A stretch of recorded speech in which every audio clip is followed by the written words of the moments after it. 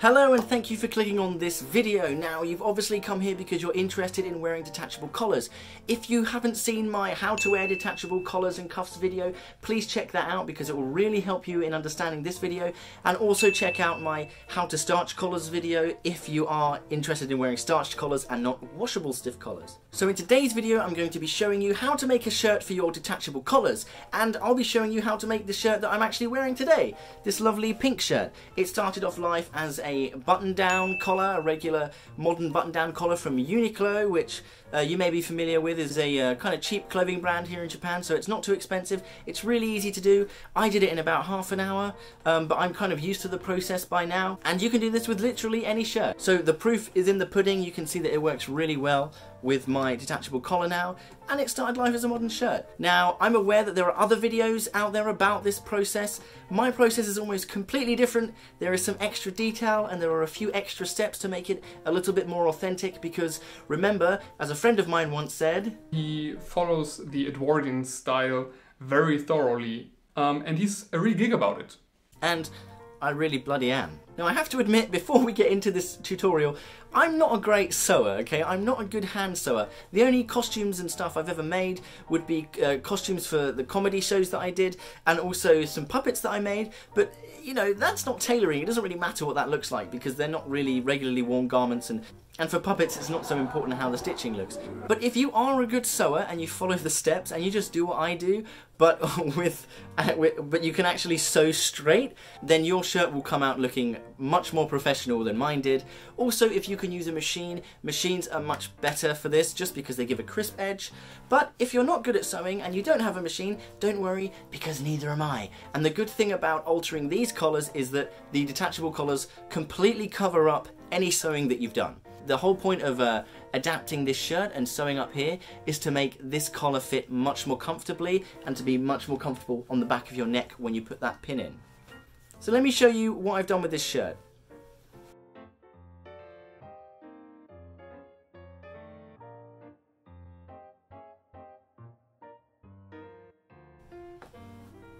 Somebody did comment that my videos are just a Victorian striptease and well, I seem to get undressed in every video, or get dressed in every video. Maybe they're right. Anyway, here's the collar you can see. So it's very straight along the edge. It has a buttonhole here, buttonhole here for this front stud, and that will attach to the collar. Then at the back, I hope you can see, we have the shirt here with this stud, and it's actually sitting inside a pocket.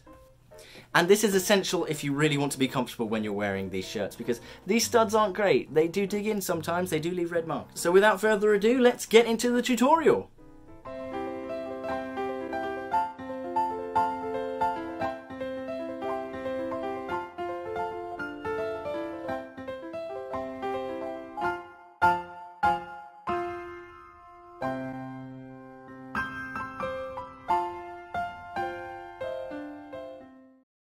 All you'll need for this video is a shirt, some thread, some scissors, a needle, and a seam ripper. To start this process, you can choose one of two modern shirts. A grandad collar shirt, that is a shirt with no collar leaves, and a regular turn down collar shirt, one that you might wear for business.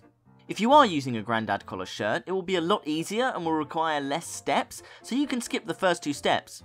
However, make sure that your Grandad collar shirt's neckband is no taller than 1.5 centimeters or it won't look right. I'll explain this more in step 1. Step 1. Removing the collar. The first step is removing the collar, if your shirt has one. Remember to first of all take off any buttons that may be holding the shirt collar down. This shouldn't leave any holes, but do be careful.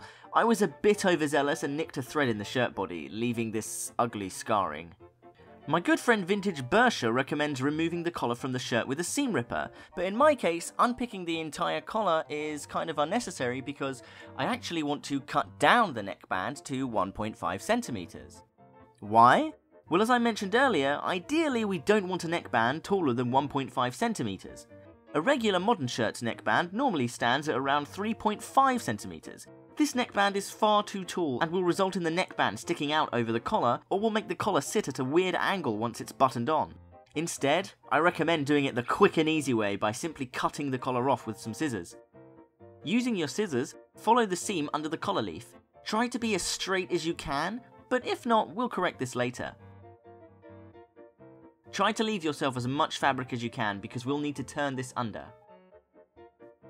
See? Much faster. Either process works just fine and I'm not saying that my process is better than his, this is just the way I do it because I want that authentic look and feel. Step 2. Making the neckband. If you're lucky enough to own a set of vintage neckbands, like my friend the Baron of Picton, then just unpick the neckband of the shirt and sew one of those vintage ones right on. Another friend of mine, James Blah, stitches on neckbands he's made himself or taken from other shirts, and that's a sure way to get the perfect finish. But we're doing it the quick and easy way. So now that you've cut off your collar, fold under the raw edge and pin it down to get an even edge. Remember, you want it to be about 1.5 centimeters in height. Then press it down with an iron. After this, take out your needle and thread and start sewing along the top seam, being as straight as you can. You'll probably be much better at this than I am because I'm not very dexterous at all, and I'm a scrub lord for not using a thimble despite owning some. Some habits die hard.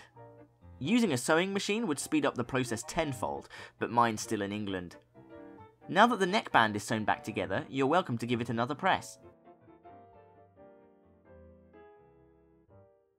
On to making the buttonholes and stud pockets. Step 3. Buttonholes and stud pockets. Now we need to cut two extra buttonholes into the neckband, totaling three if we include the current buttonhole. And we also want to make a stud pocket, something that should be familiar to you if you've seen my how to wear video that I mentioned earlier. First of all, I button up the shirt to align the placket. Then I see where the previous button was on the neckband and how the current buttonhole lines up. I push a pin through to mark the centre of the new buttonhole. Then I do the same on the back of the collar, directly opposite the front buttonholes. Before cutting the hole at the back though, I'll need to create a stud pocket. I take an antique shirt and quickly compare the two, just to make sure I get the right size. You'll want to unpick about 3 to 4 centimeters of the seam of the neckband under the buttonhole position at the back of the shirt. Now you'll have created a small pocket. If your neckband does become detached from your shirt, you'll just have to sew that bottom edge back down onto the first layer of the neckband, like I'm doing here. But be sure not to sew your pocket closed again. Now you want to sew the edges of the pocket closed, so that the rest of the neckband is closed off. Sew two vertical lines up the neckband at either side of the pocket to close the sides. You'll also want to hem the open edge of the pocket along the bottom. Maybe this picture helps you to understand what I'm saying. Once you've finished this process, cut open your buttonholes and sew them around.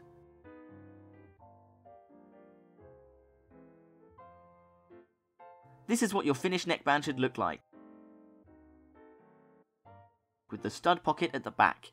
Remember that when you cut and sew the buttonhole for the stud pocket, you want it to only be on the top layer of fabric, not both layers. This is so that you can insert your stud into the pocket and stop it rubbing the back of your neck when you wear a collar.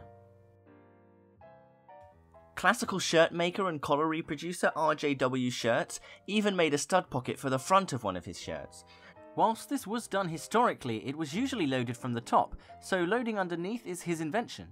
So it's something for you to consider, if you want to see more of his work, go check out his Instagram, link in the description.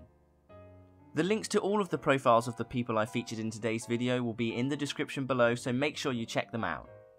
To start using your shirt then, put the small stud through the stud pocket at the back of the shirt.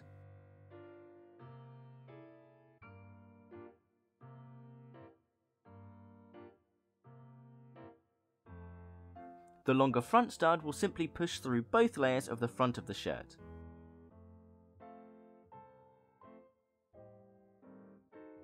You can then attach your collar accordingly.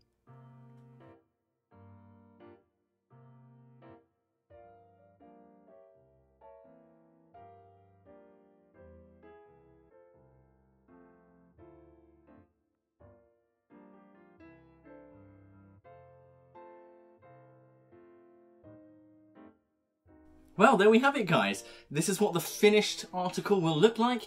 with the collar attached as you saw earlier in the video. So the good thing about these shirts is not only is it cheaper to launder, but you can wear them with any single type of collar you want. So guys, now you can wear your detachable collars that you got from the antique store, or the ones that you've sewn yourself, or ones that you've cut off other shirts or something, I don't know, and you can turn one shirt into a hundred different shirts. And if you're also interested in making cuffs, you can also make these cuffs detachable cuffs, and then you can attach a hundred different types of cuffs. So thank you all so much for watching. I hope you enjoyed the video, and I hope the tutorial made sense and was easy to follow. Uh, so remember to like, comment, subscribe, and buy me a coffee if you want to. End the video, done!